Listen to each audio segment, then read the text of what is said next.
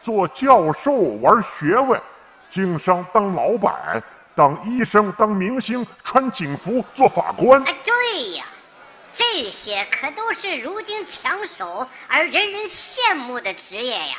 废话，这年头，教授摇唇鼓舌，四处赚钱，越来越像商人；商人现身讲坛，著书立说，越来越像教授；医生见死不救。草菅人命，越来越像杀手；而杀手呢，出手麻利而不留后患，越来越像医生。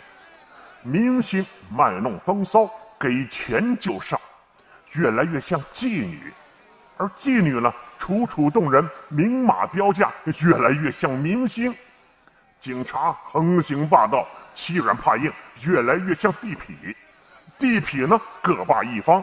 敢做敢当，越来越像警察了。没听说大盖帽两头翘，吃完原告吃被告，天天回家数钞票吗？